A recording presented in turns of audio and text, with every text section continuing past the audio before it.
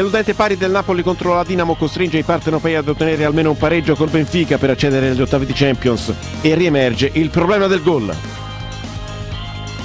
Dopo 18 anni Steven Gerrard lascia il calcio, reduce da due stagioni in MLS. La leggenda del Liverpool, ora 36enne, ha scelto di dire basta. Negli ultimi giorni era stato accostato anche all'Inter. Alla fine dello stage azzurro si radica la convinzione che possa nascere a breve una nuova nazionale destinata a durare nel tempo e Locatelli e Gagliardini potrebbero diventare due pilastri del futuro. Buonasera a tutti, benvenuti alla TMV News. Il Napoli e la sua situazione in Champions dopo il pareggio di ieri sera con la Dinamo. Ne parleremo qui in studio con Raimondo De Magistris che vado a salutare. Buonasera. Ciao Lorenzo, buonasera. E benvenuto anche ad Andrea Losapio. Buonasera a tutti. Dunque il Napoli per accedere agli ottavi dovrà eh, almeno pareggiare con il Benfica a Lisbona. Il Napoli in questo momento è in testa al proprio girone con 8 punti insieme al Benfica. Ad un solo punto c'è il Besiktas che eh, all'ultimo turno se la giocherà a Kiev con la Dinamo. Si è un po' complicato la vita il Napoli dopo il pareggio pareggio di ieri, è vero che insomma, ancora ci sono ampie possibilità per la squadra di Sarri. Potrebbe anche perdere, a patto sì, però che la Dinamo certo. Kiev batta il Besiktas, ipotesi piuttosto remota, visto che la compagine ucraina non ha più nulla da chiedere a questa competizione. Ieri malino il Napoli al San Paolo. Poche al... occasioni da rete. Pochissime anche. occasioni da rete, una squadra zero che non è mai sembra... zero tiri in porta, pochissimi, insomma qualche conclusione dalla distanza una squadra che non è mai sembrata in partita, Lorenzo. Una squadra uh, che offensivamente parlando, da quando ha perso Milik, di fatto non riesce più a trovare il bandolo della matassa. Ieri enorme difficoltà contro una Dinamo Kiev che aveva sempre subito reti in questo girone di Champions, aveva sempre perso. Invece ieri di fatto se l'è giocata alla pari nonostante la differenza di motivazioni e francamente non reggono secondo me nemmeno le dichiarazioni di Sarri che nel post partita di, ha parlato di un Napoli deconcentrato sì. perché uh, a conoscenza del 3-3 maturato a Istanbul tra Besiktas e Benfica, insomma il Napoli doveva vincere, invece non è andato oltre uno salvo 0-0. Stiamo con come la pensa su questo tema anche Domenico Penso che abbiamo in collegamento con noi, Domenico Penso ex attaccante del Napoli, buonasera Penso. Buonasera, buonasera a tutti voi. Dunque questo problema del gol per risolverlo bisognerà aspettare inevitabilmente gennaio?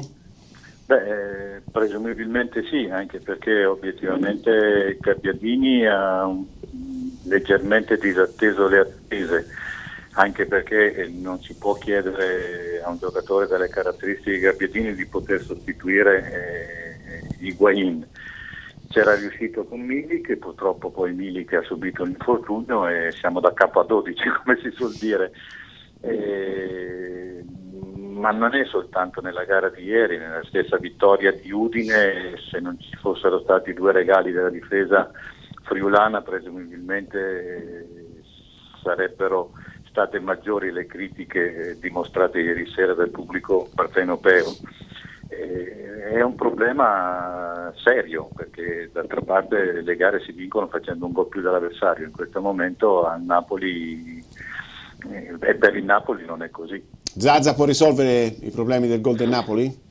Beh, ha caratteristiche più similari ecco, a, un attaccante come Higuain, anche se eh, è, è, improponibile per qualunque calciatore in questo momento essere paragonato a Higuain per quello che ha fatto nella sua carriera e sta facendo ancora oggi a, a, a Torino. E potrebbe essere da stimolo, però non so ecco, che cosa poi il Napoli farà di Gabbiadini, perché se Milik recupera e poi ci sarà anche la concorrenza di, di Zaza, diventa problematico per Gabbiadini trovare spazio.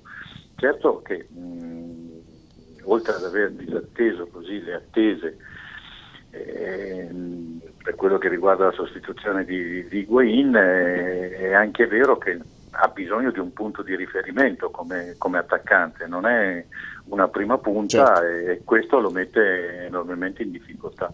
Parlando della Champions eh, e facendo un discorso generale su questa competizione per quel che riguarda il Napoli, se passa come eh, secondo classificato nel suo girone, il Napoli poi affronterebbe una tra Barcellona, Atletico Madrid, Monaco o Leicester e anche se dovesse poi classificarsi primo incontrerebbe Bayern Monaco, City o Leverkusen, insomma quindi comunque si troverebbe di fronte a un avversario particolarmente difficile. Beh, ma questo vale un po' per tutti perché la fase a gironi è sempre abbastanza anomala, eh, perché? perché spesso dico, non rispecchia i valori reali di quelle che sono le potenzialità delle squadre perché appunto si cominciano a fare calcoli. Quando si arriva all'eliminazione diretta tutti quanti tirano fuori il meglio ed è presumibile che le squadre che hanno maggior caratura tecnico-tattica eh, riescono ad emergere. ed è un problema anche arrivare primi, come potrebbe succedere allo stesso Napoli, come ci auguriamo tutti, come auguriamo anche alla Juventus di potersi classificare al primo posto. Però poi c'è, c'è il rischio di incontrare il Bayern e sicuramente il Bayern non è quello che ha perso poi 3-2 con una formazione che non aveva ancora, credo, vinto eh, in Champions, per cui eh, diventa difficile anche diventa difficile scegliere fare... insomma se sì, sia meglio poi finire al secondo posto o al primo posto. Eh... l'ultima domanda da parte di Andrea Losapio prima di salutare Domenico Penso ecco cosa farebbe a gennaio? Acquisterebbe un centravanti un portiere visto che anche Reina è un po' un problema ormai? Ma quando ci sono questi momenti di difficoltà eh, si cercano sempre dei capi espiatori. Eh, io, Reina è, è un ottimo portiere quando si prende gol eh, è inevitabile che bisogna poi suddividere le responsabilità con, con tutto il resto della squadra, non è soltanto un problema Rea. E per l'attaccante sicuramente, sicuramente anche perché mh, l'infortunio subito da Milik non è una distorsione piuttosto che uno stiramento che puoi valutare in tempi certi di recupero. Quando si parla di lesioni di questo tipo bisogna essere molto cauti e dare il tempo necessario per il completo recupero, per cui anche a gennaio con un Milik convalescente presumibilmente il Napoli avrà bisogno di un, un attaccante che dia eh, di sicuro affidamento, insomma, che possa poi sì, riuscire a finalizzare tutto il gioco espresso dal Napoli. Penso, sì, la ringraziamo. Grazie a voi. Grazie, buona giornata. Abbiamo sentito così il parere di Domenico Penzo, dicevo del gioco che comunque al di là della partita di ieri il Napoli lo produce sempre, riesce a creare eh, le occasioni da gol, poi manca il finalizzatore, manca il centravanti. Sì, manca gol. il finalizzatore, ieri un errore clamoroso di Mertens a tu per tu col portiere della Anche Dinamo, Insigne un Insigne scivolato in sì, aria quando era sì. pronto a calciare a botta sicura. Ha ragione, penso, quando parla di un Napoli che poi non è stato troppo dissimile da quello visto sabato scorso a Udine. Lì gli errori della difesa dell'Udinese sono stati sfruttati, ieri sera di errori non ce ne sono state, le poche occasioni a disposizione non sono state sfruttate, ma manca un finalizzatore a questa squadra, c'è forse da interrogarsi sul, sugli errori di Sarri, o meglio, è chiaro che non è lui il maggiore responsabile di questa situazione, perché non puoi acquistare uh, in estate quattro centrocampisti e restare a novembre senza un vice Milic o avere uh, cinque difensori centrali e non avere un terzino. A ottobre. Però Sarri si sta mostrando forse un po' troppo integralista, cioè non riesce a plasmare, a cambiare le sue idee a seconda degli attaccanti a disposizione, perché è evidente che dopo l'infortunio di Milik il Napoli non ha cambiato la sua struttura tattica nonostante sia evidente che questa squadra non può giocare col 4-3-3. Sono troppo rigido Sarri, e invece tornando al girone dei Champions è difficile chiaramente adesso poter scegliere se sia meglio arrivare al primo o secondo posto, certo è che comunque... Sempre meglio il primo, eh? sì. vincere aiuta a vincere, quindi eh, con il rischio di andare sì, con sì, Barcellona, Atletico Madrid. No, beh, il, pri il, primo, se arrivi primo il Barcellona. Scusami, se arrivi primo poi eh, con sì, il, il Bayern, Bayern Monaco, sì, con Leverkusen, scusami. Becchi il Leverkusen magari è più semplice, se trovi comunque il Bayern Monaco può capitarti di là. Diciamo Madrid. che arrivando primi ci sarebbero più possibilità di beccare una squadra abbordabile. Morbida, sì, esatto. esatto. Certo, perché insomma a parte l'Ester e il Monaco, insomma, sì. penso che siano le uniche due squadre morbide sì, sì. che puoi la prima fascia. Allora adesso eh, lasciamo il Napoli e ci occupiamo eh, di un grande giocatore che oggi ha deciso di dire basta con eh, il calcio, stiamo parlando di Steven Gerrard per eh, fare il punto della situazione sulla carriera, grande carriera di questo calciatore. Andiamo in redazione da Marco Conterio. Ciao Lorenzo, 24 novembre 2016 finisce un'era. A Liverpool per il calcio inglese, si ritira Steven Gerrard, Steven George Gerrard da Winston, Inghilterra, la più grande bandiera del calcio recente inglese, una delle più grandi della storia del Liverpool, alla pari di Bill Shankly, Bob Paisley, Kevin Keegan, uno che non ha mai vinto la, la Premier League, il suo grande, grandissimo cruccio, quella scivolata per il gol del Chelsea, il gol di Dembaba che eh, mandò in frantumi i sogni dei tifosi Reds della Coop, le lacrime sul Merseyside, ma è stato anche il capitano il protagonista di quello che è stato definito il greatest comeback of the history, la più grande rimonta della storia. Ovviamente i tifosi rossoneri non saranno molto felici di ricordarla, ma è la finale di Istanbul, ne ha perse anche una successivamente ad Atene, però è uno dei più grandi centrocampisti dell'era moderna, il suo 8, le sue scarpe numero 42, la sua fascia da capitano dal 2003 al 2016, insomma è uno dei giocatori più importanti sicuramente della storia inglese, si ritira oggi, ha detto ho realizzato i miei sogni da bambino, vestendo per il primo giorno, per la prima volta la maglia del Liverpool, mai avrei immaginato una carriera del genere, si è ritirato non a Liverpool ma dopo l'esperienza americana dopo quella con i Los Angeles Galaxy per scoprire, evidentemente per capire che anche al di fuori della sua città c'era qualcosa di bello e qualcosa di buono da vedere e da vivere. Ha rifiutato per adesso la panchina del Milton Keynes Dons, ma siamo certi che sarà anche un grande allenatore come è stato un grande giocatore. A voi. Grazie a Marco Conterio, Andrea Lo Sapio, sarà un calcio più povero senza Steven Gerrard, fermo restando poi la fine della carriera arriva per tutti. È chiaro che sicuramente il calcio inglese ha bisogno ancora di trovare i sostituti di Gerrard e di eh, Lampard, anche lui sì. comunque a New York City probabilmente anche lui prima o poi finirà la carriera però qualcuno magari sta crescendo mi parlo di Henderson, mi parlo di Alli eh, secondo me possono fare molto bene anche loro la nazionale adesso si è concluso ieri a Coverciano lo stage di due giorni voluto dal CT Ventura per scoprire, per mettere a fuoco, per valutare tanti giovani che fino a questo momento si sono messi in luce in Serie A ma anche in eh, Serie B. È stato un Ventura che si è detto soddisfatto alla fine di questi uh, due giorni e uh, alla fine di questi allenamenti con la nazionale abbiamo avvicinato alcuni uh, dei calciatori più significativi di questa spedizione azzurra. Uno di questi è Roberto Gagliardini, il giocatore dell'Atalanta un po' sulla bocca eh, di tutti dopo questo eh, straordinario avvio di stagione con l'Atalanta, lo abbiamo avvicinato eh, ieri, il Pogba bianco, sentiamo che cosa ci ha detto. Sento un giocatore normalissimo che sta facendo un buon campionato, inizio di campionato con una squadra che finora non, nessuno pensava potesse arrivare dove è e ci siamo arrivati, penso con merito e faremo di tutto per restarci. In questo stage che cosa ha detto? Ma ha detto comunque che ci sono tanti giovani interessanti, penso, e che diversi di noi appunto magari possono meritare di essere convocati da, dal mister Ventura e sicuramente ci sarà tanto da lavorare durante l'anno con le proprie società per essere, convocati, per essere convocati nelle prossime convocazioni. Il gruppo Atalanta è il più brillante in, questo, in questa fase? Ma più brillante forse per prestazioni sì, perché comunque stiamo facendo le ottime prestazioni il mister ne ha convocati ben sette, quindi vuol dire che c'è molta fiducia anche per quanto riguarda la nostra società e siamo contenti di ciò, è un motivo d'orgoglio da parte nostra e della società. Tu per non sbagliare dici grazie Giampiero, così può essere Gasperini o può essere Ventura. Mi dici quanto c'è stato di Gasperini in questa convocazione? Perché se l'Atalanta è la sorpresa, tu sei la sorpresa nella sorpresa, ma la vera sorpresa racchiude tutto è proprio Gasperini e il suo lavoro. Ma penso ci sia molto, ci sia molto perché comunque eh, il mister mi ha dato fiducia in un momento difficile dall'Atalanta e, e, anche penso che il suo metodo di lavoro, come lui vuole interpretare il calcio, penso si, si rifaccia molto alle mie qualità, alle mie caratteristiche di gioco quindi penso anche per quello stia comunque facendo delle, delle buone prestazioni. Ecco, non per metterti in difficoltà, però dice Gasperini tra le altre cose che il calcio è un po' drogato, nel senso che certi giocatori giovani troppo velocemente vengono chiamati in nazionale in generale, tu che cosa ne pensi? Ma troppo non so, eh, forse a volte è vero anche per quanto riguarda ad esempio la mia convocazione appunto con la nazionale maggiore di una settimana scorsa è stato magari affrettato perché comunque è dovuto a un infortunio da parte di Marchisi.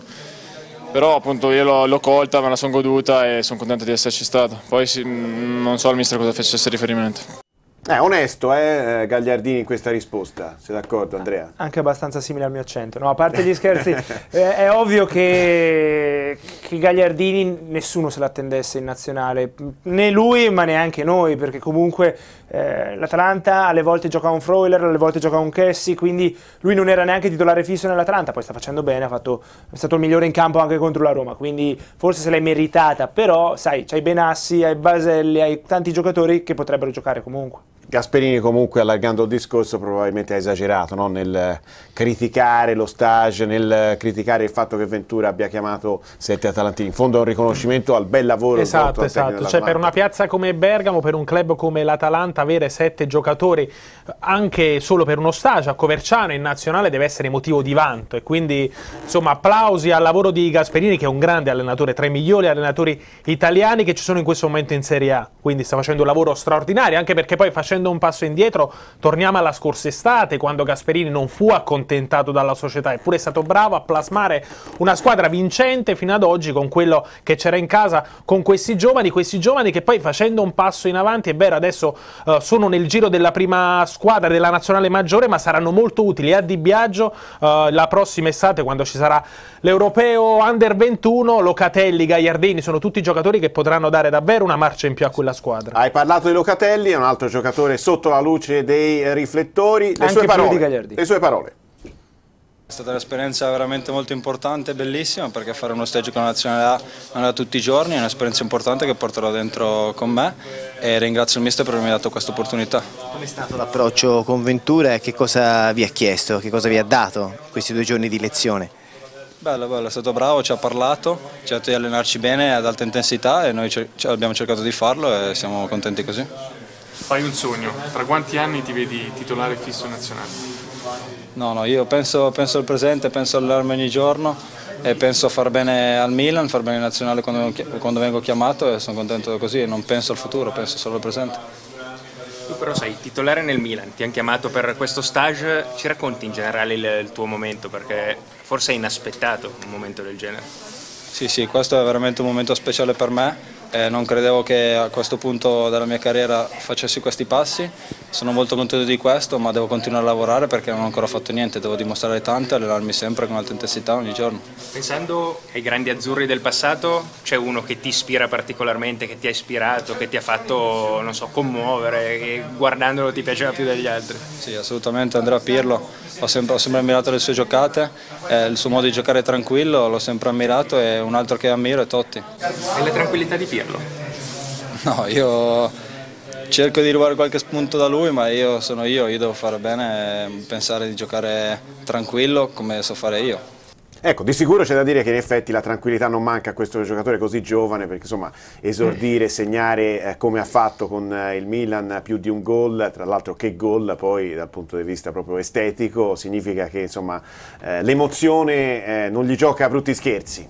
No, certamente no, eh, però è anche vero che bisogna stare eh, nella giusta via di mezzo, ci sono dei buoni, ottimi centrocampisti in nazionale, io credo che eh, sia, sia mh, Locatelli sia Gagliardini avranno tempo, però neanche bruciare le tappe è utile. Ci sarà lo stage a febbraio, a febbraio si potrà capire qualcosa di più, soprattutto perché poi a marzo c'è la convocazione subito dopo per la partita con l'Albania, partita, una delle partite chiavi di queste qualificazioni. Però insomma quello che emerge anche da questo stage e anche da queste eh, prime partite di campionato di questi mesi che eh, il nucleo dei giovani sta crescendo e dà delle buone indicazioni per il futuro, per la nazionale del futuro. Rivediamo la luce finalmente, sì. perché dopo tanti anni si vedono, si intravedono giovani che potenzialmente possono essere all'altezza di una grande nazionale. Ora, al netto di questo stage, ma un centravanti come Belotti in Italia non lo si vedeva dai tempi di Luca Toni, e sono passati dieci anni dal 2006, invece abbiamo finalmente un centravanti che è potenzialmente il centravanti della nazionale per i prossimi dieci anni, abbiamo l'erede di Buffon, abbiamo questi centrocampisti che hanno tutto per diventare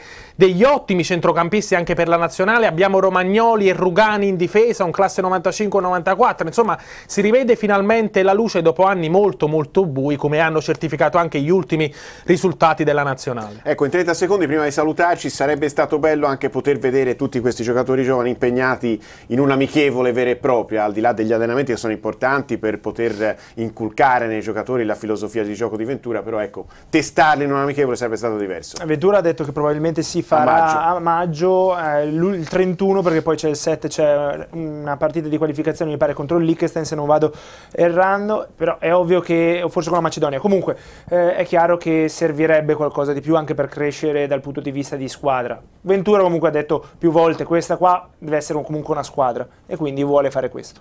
Grazie ad Andrea Losapio e grazie naturalmente anche grazie, a Raimondo De Magistris, Lorenzo. grazie a tutti voi per averci seguito, buon proseguimento di से रहा था